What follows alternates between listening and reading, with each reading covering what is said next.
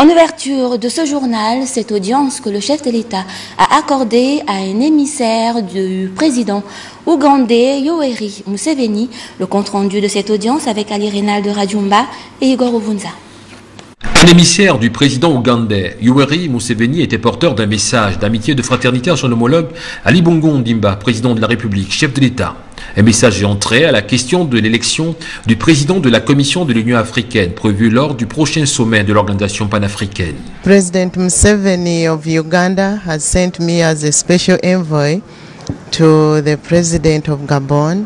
Le président de l'Ouganda, Yoweri Museveni, lui a confié un message à délivrer le chef de l'État du Gabon euh, et en demandant euh, le support du Gabon pour la candidature de Madame euh, pour le, bureau de président de l'Union africaine.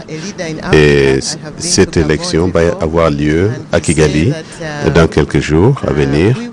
Elle dit qu'elle est ici comme leader de l'Afrique, qu'elle a été bien, très très bien reçue ici au Gabon et elle remercie le chef d'État pour lui avoir accordé cette audience.